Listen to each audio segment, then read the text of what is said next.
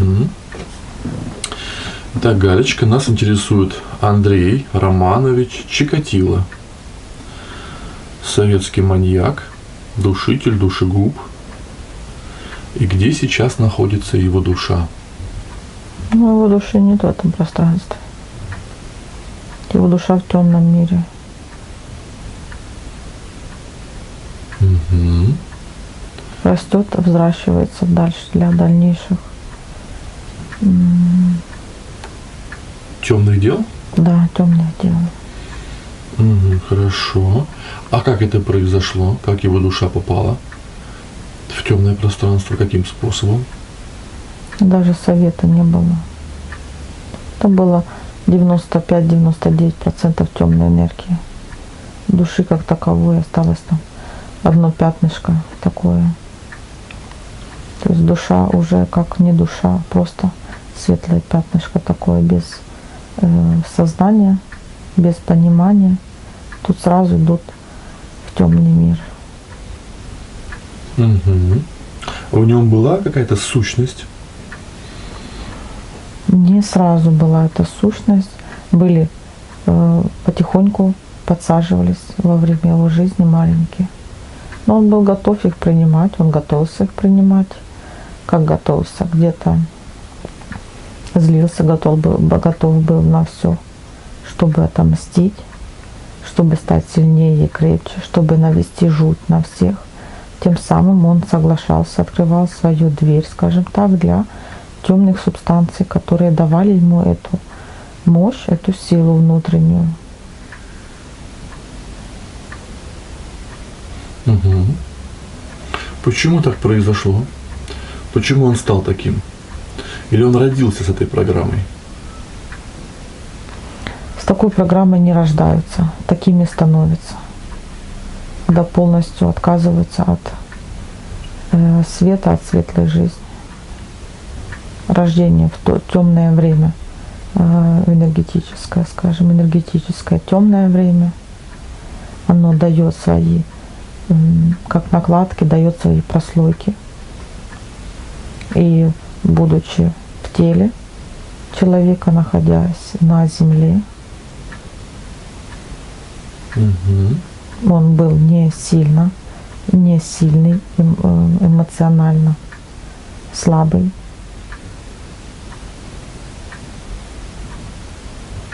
И он выбрал темный путь во благо себе. А какова была его программа? Вот его воплощение, э, кем он должен был стать?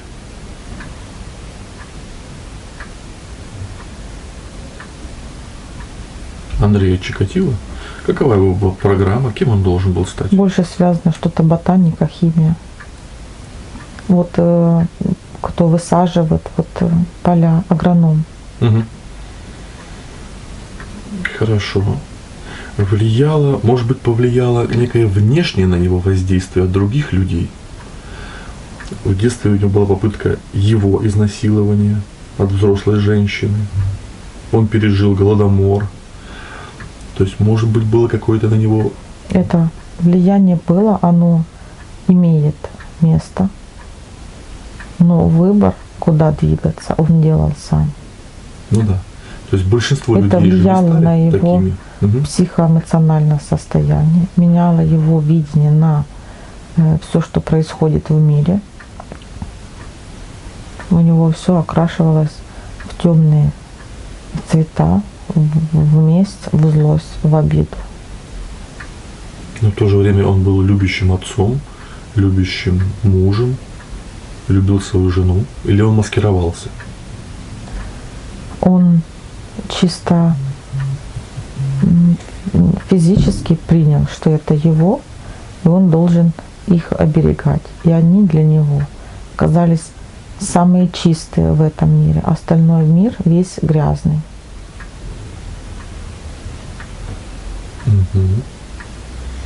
Как происходило взращивание в нем этой сущности или э, лярвы или Ну, что-то в там были субстанции.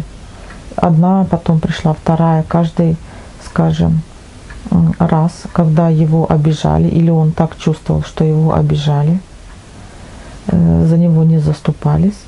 Эта злость, агрессия, обида, она притягивала, где-то притягивала, где-то зарождала в нем темный сгусток. Потом он принял такую позицию, что все вокруг плохое, что все вокруг темное, и этот мир надо чистить от тех м, злых людей, которые живут на планете. Мгм. Когда эти субстанции, их много в организме, они имеют свойство объединиться в одно. То есть эти энергии объединяются в одну и становятся более крепкими. Но он и не противодействовал им, не, не, не противоборствовал им. Он согласен был принять эти энергии, и ему нужны были эти силы темные, потому что он шел с агрессией внутренней, с внутренней обидой на этот мир. Почти все его преступления, они были на сексуальной почве. Почему так сложилось, что он мог только так удовольствие получать?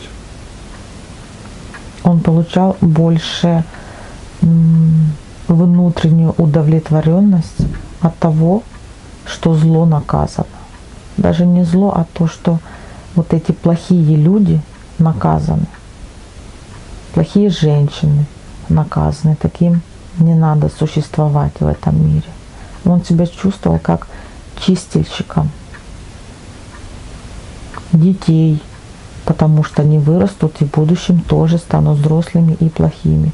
Мужчин он не трогал, потому что он осознавал, что он слабее и ему могут дать отпор.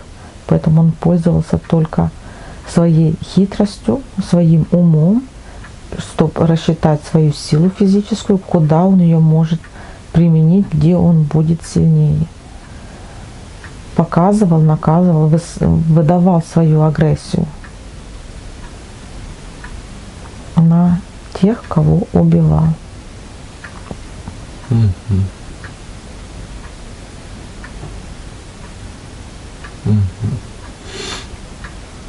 Хорошо.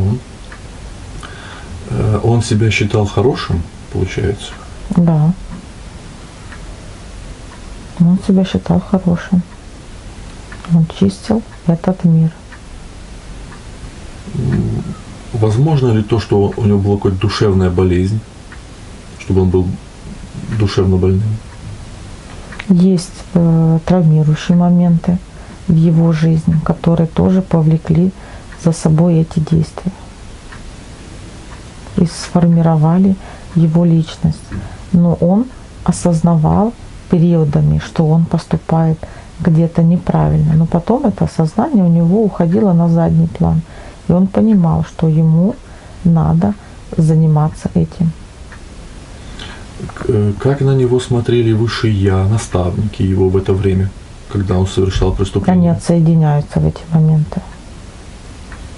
Пытались ли они как-то его изменить, э, достучаться до него? пытались, но там уже нету возможности достучаться. Он полностью, скажем так, принял другое направление. Были ли у него И какие-то помощь от темных сил. Там с той стороны уже им руководили. И Он абсолютно э, согласно, то есть как на одной волне вот с темными силами, которые им также руководствовались извне, руководствовали извне. Он принимал их наставления, скажем так, направления, он выбрал темный путь и пользовался темными, скажем, темными наставниками, вот так. И в, в каждый всплеск, в каждый там момент сексуального какого-то удов- удовлетворения э, вырастала в нем эта сущность. Он ее взращивал, получается. Да. Были ли у него какие-то темные наставники высшие? Я, может быть, темные там. Темный наставник. Высших я нету темных, есть наставники темные. То есть они ему как-то шептали, внушали, мысли посылали или импульсы, Не, или соблазны. не шептали, не внушали. Они его направляли, где лучше сделать. Но он, то есть ему приятно было это направление. Ему приятно было вот эта связь. Он выбрал эту связь. И он считал, что он делает все верно и все правильно. И ничего плохого он не делал, и ничего страшного с его позиции. Что с его... Он подчищал, скажем так, этот мир и делал его чище. Э, Что с его древом рода? Как к этому относится его род?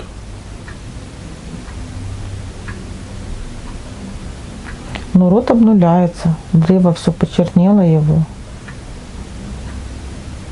То есть это позор, да, это то есть темная энергия на род, получается.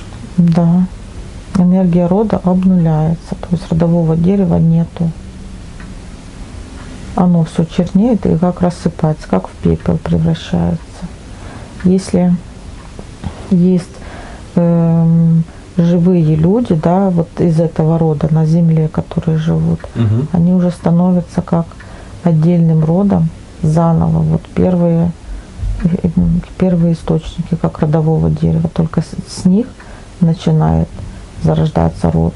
Но начинает зарождаться на чем? На пепле, на черном пепле. Пепелище. А как карма работает на его предков, на его, то есть, э, ой, на его потомков, на его детей, будущих внуков, правнуков? Тянется. Тянется этот энергетический слой, он все равно тянется на будущее, да, на то, что на его наследников и на продолжителей его рода. Она тянется, этот темный э, энергетический шлейф, он есть в каждом. И причем это все есть заложено, скажем, даже как на энергетическом, так же и на физическом уровне у наследников его. И оно может включиться в любой момент. Ну, то есть качество их жизни, оно будет хуже. То есть его поступок повлиял на, на его потомков. Да, потому что черный шлейф, черные энергии всегда идут с ними. Какое-то проклятие, может быть, на его род, потомков. Есть такое? Ну, это можно, да, можно назвать проклятием. То есть я вижу энергетический черный шлейф, но с позиции простого, как человека земного, это можно назвать проклятие на весь род, на все поколения. Если они поменяют имена, фамилии, как-то они... Абсолютно ничего не поменяется. То есть энергия их, кровь его, м, ДНК его, то есть все, что идет уже после него, с его, скажем так, инфицированными генами, все уже там заложено в них. А в какой момент вот древо рода его обнуляется? Момент преступления или момент, когда он В пришел? момент каждого преступления отделяется какая-то часть дерева, обнуляется. Момент каждого преступления. И также, когда он выбрал именно переход, связь, отсоединиться от, тё- от светлых и перейти к темным, тогда он как полностью э, как отрезает вот эти, э, отрезает свою связь со светлыми силами, с родом и принимает полностью, ну, как другую религию можно назвать. Можно ли сказать, что как будто он э, взращивает черное какое-то древо рода? Конечно. То, что темные наставники с ним работают, это его абсолютно согласие, его желание, его выбор. И он работает на темной стороне. Его душа находится в темном мире. И ей там неплохо, этой душе, этой душе хорошо. И она растет и будет продвигаться дальше, будет спускаться на землю для того, чтобы дальше творить такие ужасные Дела. дела. А в каком виде они могут спускаться? То есть может ребенок родиться? Я вижу, что его энергии будут распределяться не на одну душу, а на несколько душ, даже, ну, даже не на две, а на больше. То есть будут зародыши вот его этих сгустков, его души заселяются, например, не в одну душу, не в одного, не в одно тело, а там в 5-6 тел. Вот эти сгустки заселяются. И в одном из таких тел также оно может выйти на первый план. В зависимости от того, в каких условиях находится это, ну, скажем, человек, да, как его провоцируют, не провоцируют, как у него налажена связь с его душой, с его наставниками, какой выбор он принимает. Э, Как это происходит? Это с черной планеты приходит душа и рождается, разделяется на части, рождается на Земле в телах младенцев, детей. Да. Это э, в телах младенцев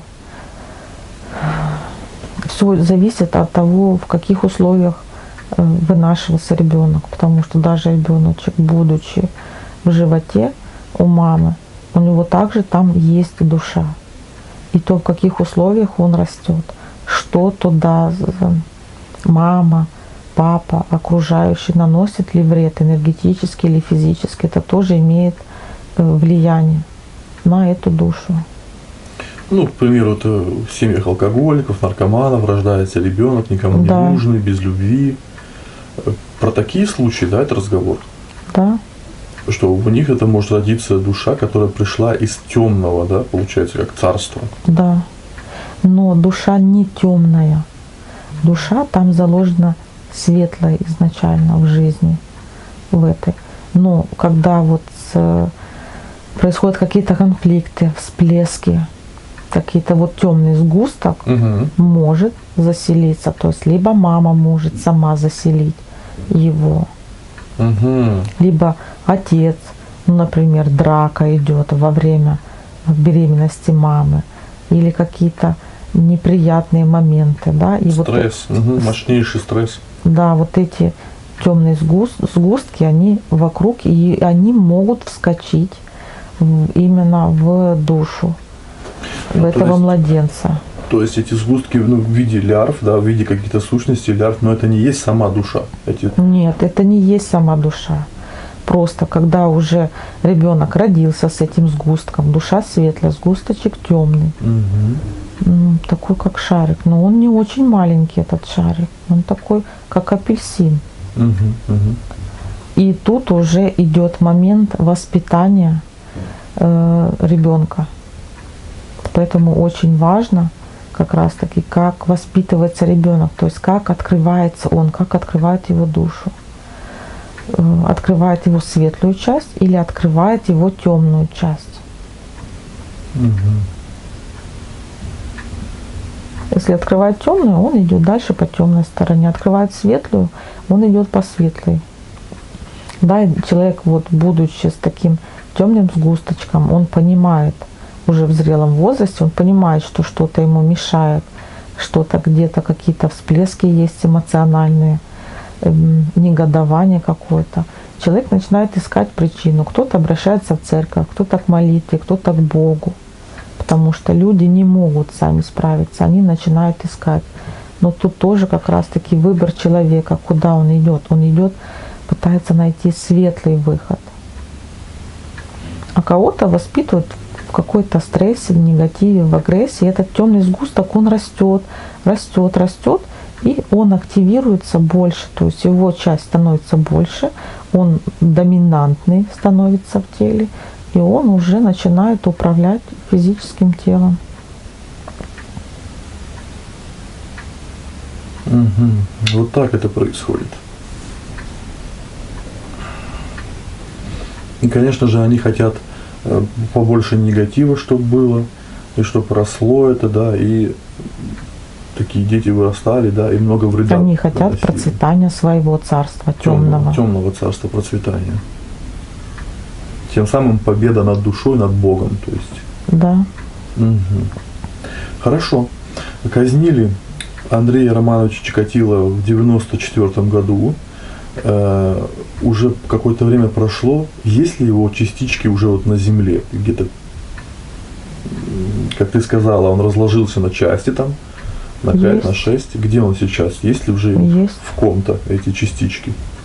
Три воплощены, три еще не воплощены. А, то есть уже где-то Три воплощены. есть. Мгм. Хорошо. Хорошо, ну это поняли, их цель нав- навредить людям, человечеству как можно больше Ну и хаоса. надо понимать, что человек, будучи с таким черным шаром, даже если он двигается по светлому пути, и дальше он идет, у него продолжение рода, да, рождается ребенок, этот шарик тоже может разложиться, разделиться на части, также может э, быть в, в ребенке, в, в потомках. Мгм. А может ли слипер вычислить такую душу, например, Можно. если пришли э, к нему на сеанс, и почистить, Можно. убрать этот сгусток, аннулировать? Можно его видно. Мгм. Особенно э, в маленьких, ну, в детях его видно, потому что дети, они в основном по сути своей светлые. Это взрослые уже накапливают э, на протяжении жизни, накапливают какие-то сгустки, а на ребенке, ну, например, там до 14, до 16 лет очень хорошо все видно. А со скольки лет можно такого ну, младенца сканировать, если к нам обратятся родители, к примеру, С рождения. с рождения? Как можно вычислить такого ребенка по каким-то внешним признакам, поведению, может быть, характеру? Каков этот ребенок? Вот как ты вот сейчас смотришь на него, ребенок, Ну, его нельзя так вычислить. Может он более крикливый Нет. или капризный. М-м. А Абсолютно нет. Только влияет вот как раз среда его окружения, что с ним делают, как его воспитывают, кричат, унижают, обижают или растят ласки в любви. Бывает этот сгусток, он как, если в хороших условиях растет ребенок, то этот сгусток, он находится как в спящем состоянии. И ребенок будет очень спокойный. И ты не, не скажешь по нему, что он какой-то не такой. Мгм. То есть бывают абсолютно спокойные дети, потом люди вырастают, и потом что-то происходит, провоцирует, и этот сгусток активируется. Ну, то есть ребенок должен расти в максимальной любви и заботе. Да, тогда может не быть, да. не быть такого проявления вот этой э, ну, сущности, агрессии, да, вот какой-то. Ну, Она как, как в спящем состоянии. Мгм. Ну, это вот показывать, если простыми словами, например, как ранка есть, да, небольшая. Если ее там не трогать, мазать кремом, что она будет заживать.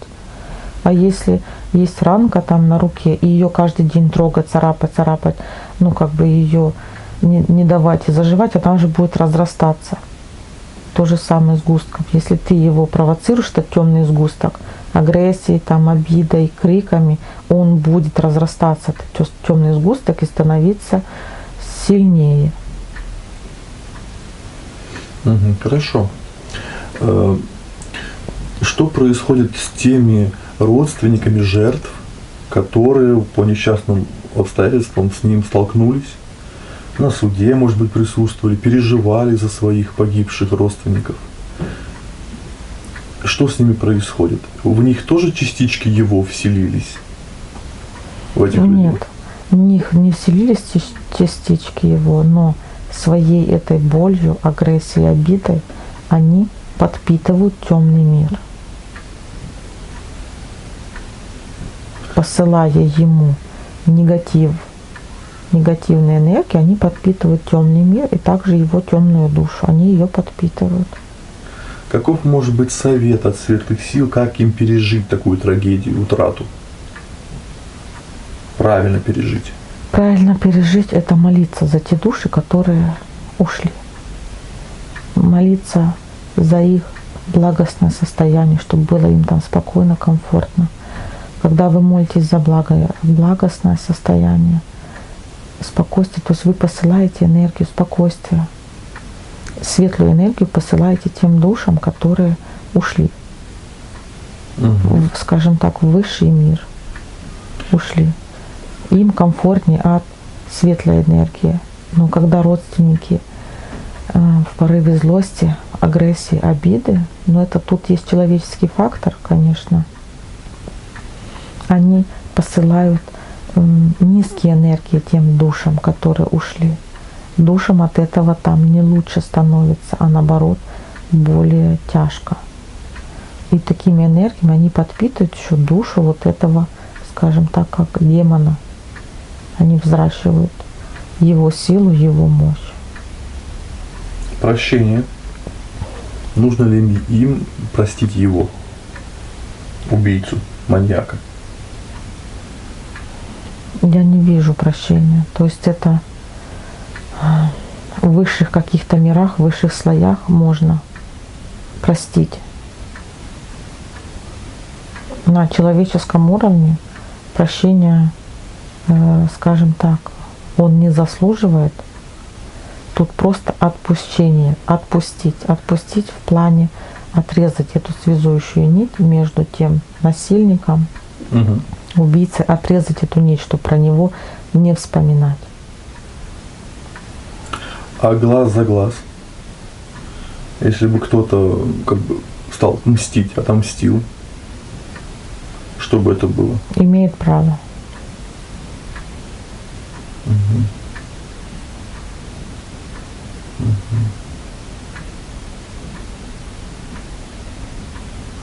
То, что это произошло с кем-то, да, с какой-то жертвой, это программа этой жертвы, этого человека. Нет, абсолютно нет. То есть это его вмеш- вмешательство маньяка в эту жизнь, да, насильника. Да. Мгм. То есть это не программа быть жертвой, быть убитым этого человека. Нет. Мгм. Хорошо. Он действовал, наоборот, очень умно и очень хитро. Мгм. И если бы его кто-то убил раньше, даже было бы в плюс, потому что ты как остановил вот эти действия темных сил. Мгм. И в дальнейшем, если смотреть, то спас много душ Мгм. Мгм.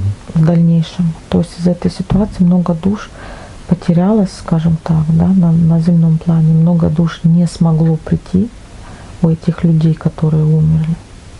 То есть целая, целая цепочка таких событий была нарушена. Э, Может быть, многие спрашивают, а Бог, мог бы Бог его остановить, например? Или какая-то сила? Почему все сверху смотрят и не вмешиваются? Да, вот есть такой посыл у людей. Почему Бог его не остановил, не покарал? Потому что есть земные моменты и земные правила существования. Мгм. А что это за правила? Они вмешательстве? есть, э, скажем так, то, что действуют эти энергии.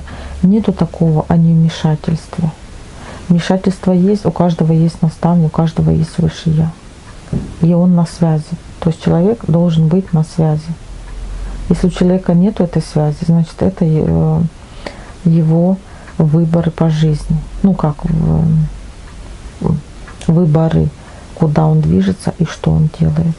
То есть это его не это именно человек не на связи с высшим я и с наставником. Высший я и наставник всегда на связи, они курируют. То есть тут был уже выбор самого человека, на связи он или нет. Мгм. То есть имеется в виду ангелы-хранители, да, архангелы. Да, но человек сам своими как бы выборами, куда он движется, что он делает, ищет вот эту связь или нет. И тут и также также воспитание, как воспитывают, то есть это выбор самих людей. Им дали эту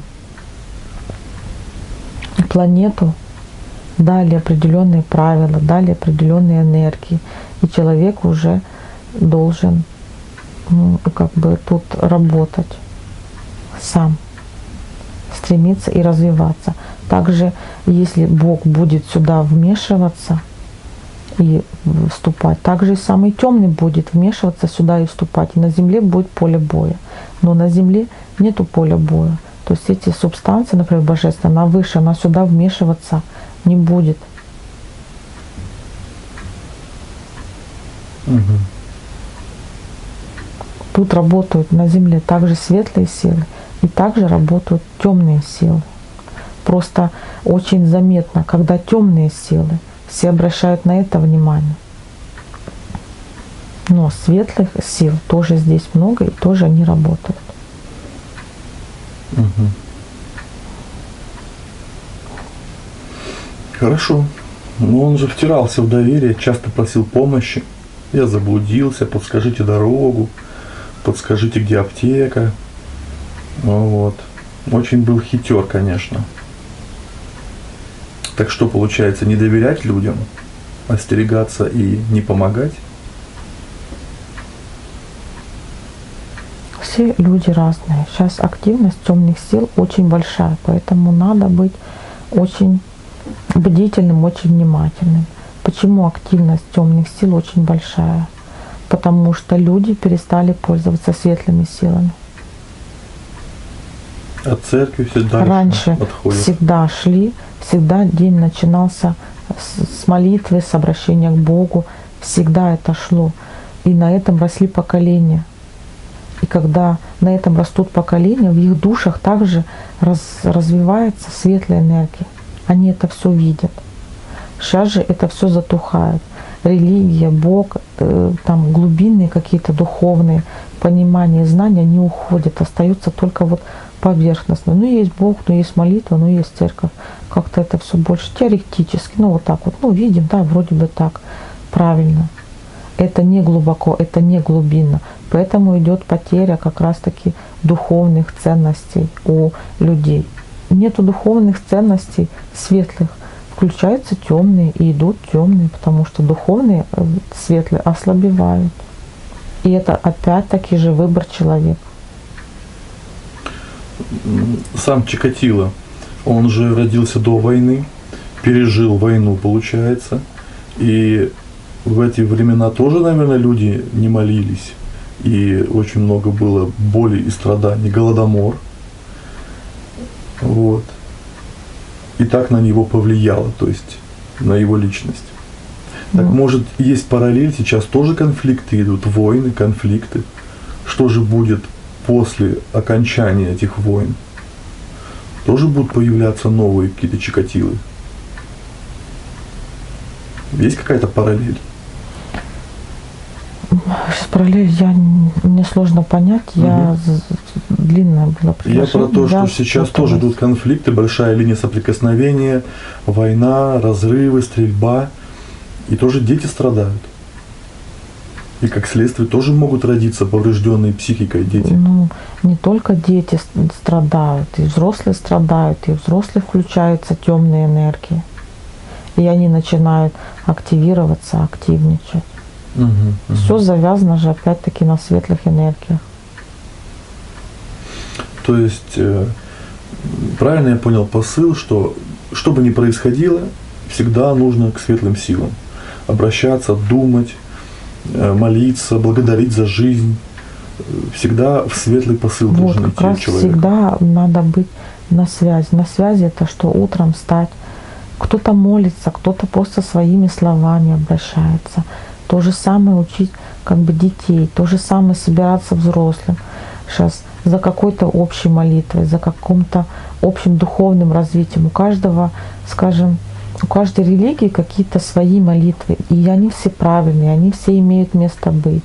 И есть какие-то религиозные там праздники, религиозные моменты, их надо придерживаться. Это все очень развивает духовный мир и направляет э, людей по правильным путям. Мгм. Также мантры, медитации, то есть это также все полезно. Намазы, мусульмане Мантры и медитации это уже больше для взрослых. Мгм. Это когда осознанный взрослый человек, он хочет развиваться дальше. Но тут очень важный момент именно соединения рода, соединения близких людей, соединения поколений, где, например, родители, родственники молятся, обращаются с любовью друг к другу, с поддержкой друг к другу. Следующее поколение детей, они видят, в чем и как живут их родители. И у них это все тоже активируется. И они дальше продолжают эти же действия. Копируют поведение. Копируют поведение. Если просто сесть мантру спеть, ты не включишь этим своего ребенка. Ты не покажешь ему, как надо жить. Это образ жизни должен быть для многих людей. Поэтому есть такие э, как бы праздники, объединяющие людей, Мгм. где видно любовь друг к другу, помощь, поддержку. Есть праздники сходить на могилу, там, к родственникам, да, помолиться о родственниках. Для чего? Чтобы вы их не забывали, подпитывали. Это подпитывает также вашу душу и взращивает следующее поколение. Они это все видят. То есть раз дети растут, поколения растут, развиваются только в той атмосфере, какую они видят. И для них это норма. Ну, Правильно я понимаю, то есть если бы Чикатило рос в семье, где все было хорошо, молились бы, в любви его взращивали, то он бы таким не стал. Ну, тут сейчас сложно сказать. Сейчас не вижу я его там программу, чтобы его могло выбить.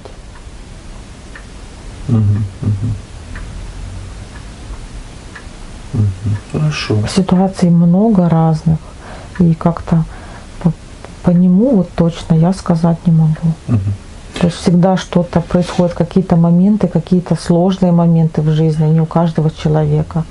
То есть как бы он поступил в сложный момент, он сломался бы или он бы пошел искать помощь у своих близких и поддержку. Тут каждый, ну, тут насколько он был бы развит, насколько он был бы крепок внутри. Куда бы он пошел, в светлую сторону или в темную сторону. Ну, а эта крепость, опять же, зависит от молитвы, от осознанности, от воспитания, от Да. того, сколько в него вложили родители.